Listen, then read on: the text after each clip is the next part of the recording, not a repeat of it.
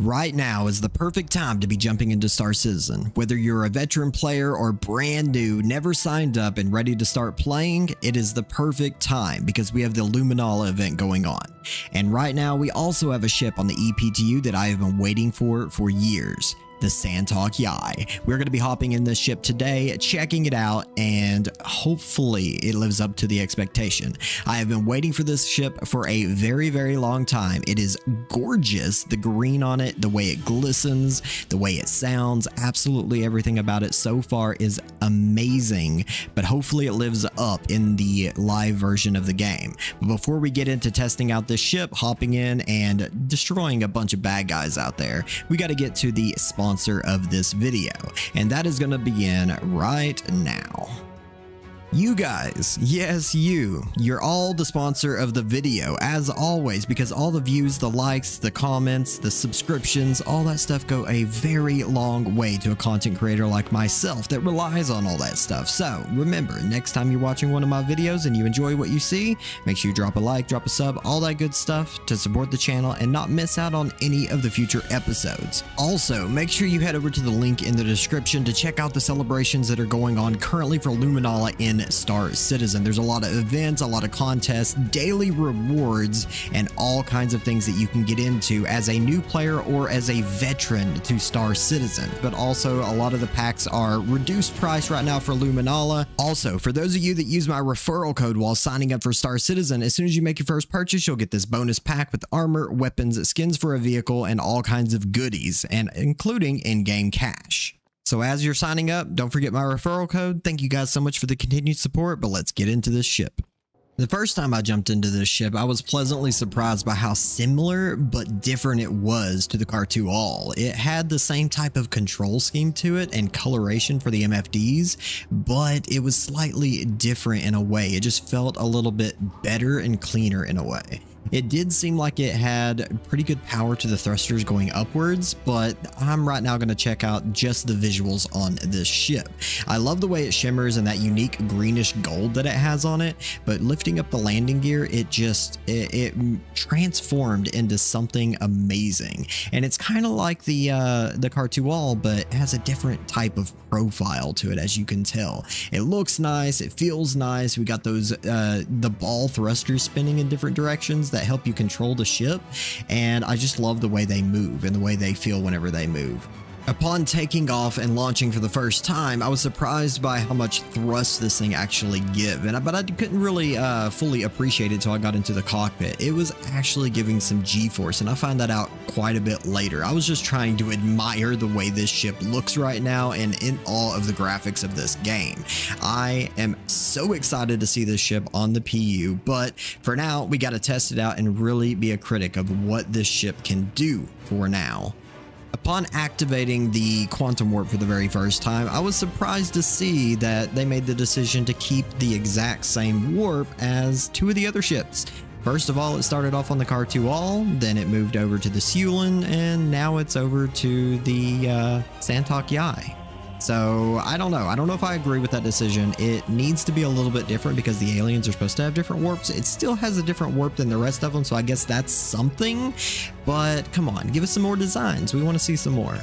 As for the weaponry on this ship, they are unique to the San'tok.yāi. They are called the Yeng'tu. They are size 3 repeaters, laser repeaters, but they are quite different than normal size 3s. They have a higher rate of fire, so equipping 3 of these is better than 4 size 4s at this current moment.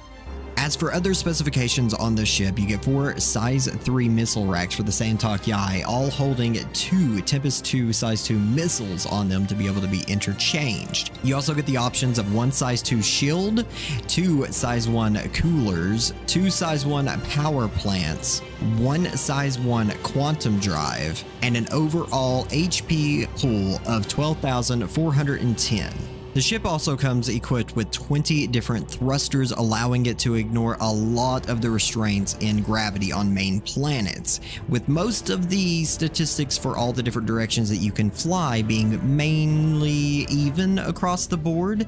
A couple of the things that prevail a little bit more is the forward and backwards, the up and down, and the strafe is slightly, ever so slightly stronger on this ship.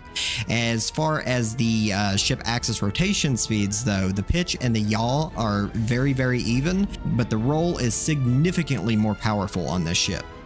So I really wanted to take this ship out and test it against some higher tier bounties and stuff in the game. But currently on the EPTU, I don't have anything unlocked, so I decided to go against some of these critical th threat beacons and the higher threat beacons and stuff like that. And I ended up getting into one with a couple good ships and uh, surprisingly, a hammerhead was in here. And I found it surprising how well this ship handled against a hammerhead. If I was, you know, in here with any other ship or anything like that, a lot of the other ships that, you know, have not as many thrusters and not as much maneuverability in the game, and without the high fire rate that this gun has, it would have taken a lot longer. Not saying that the other ships wouldn't have been able to do it, but with the maneuverability of this ship, the ability to aim and control your ship a little bit better, and with the, the fire rate that these size 3s give, I was able to burst this thing down significantly pretty quickly. And, you know, using this, this ship so far has been an experience. It has been a different type of feel to ships that I've played in the game. A lot of the uh,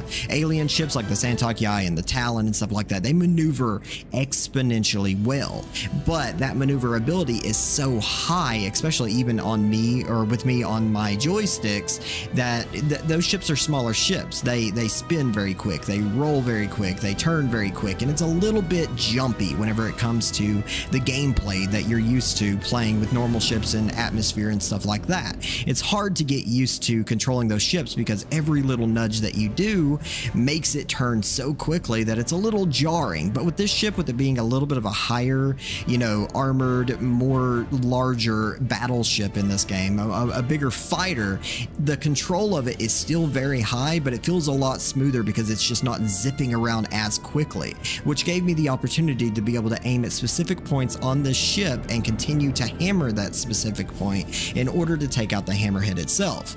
And with that being said, it made an enjoyable experience. But I did find out one little flaw. I don't know if it was just my ship, if I needed to recall it, or if it was something that was going on in the game currently, but I was unable to get missiles to work. But that being said, I mean, I'm sure that they're going to work eventually. This is the EPTU after all, and it is what it is. But this has been my thoughts on the ship. I think it is a wonderful ship and has a bright future. If you guys enjoyed this video, you know what to do. Drop a like, drop a sub, all that good stuff and support us in the future as we go on. Make sure you guys don't miss out on any of the past videos that I've made and all the future videos coming out. But with that being said, I'm out. Keep it nerdy out there, guys.